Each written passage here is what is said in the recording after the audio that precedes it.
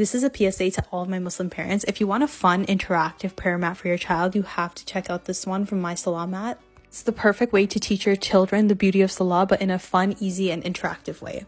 Not only do you get the mat itself, but it comes with different activity books and instruction guides on how to use it. Yes, it's showing you how to pray, but there's so many other cool features like showing you what to do before, during, and after, such as wudu, salah time, salah positions, making dua after. Not to mention that the mat itself comes in 15 different languages, so it really caters to everyone. It's so detailed that they even show you where exactly to place your nose. Like, are you kidding me? They really get you with the battery not included though. this is just me setting it up. It's so simple to use. It's just three AA batteries and then a start button. If I saw this, I'd literally think it's a game. There's so many buttons to press.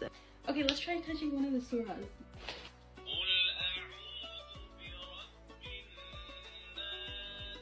Guys, this is so cute. They have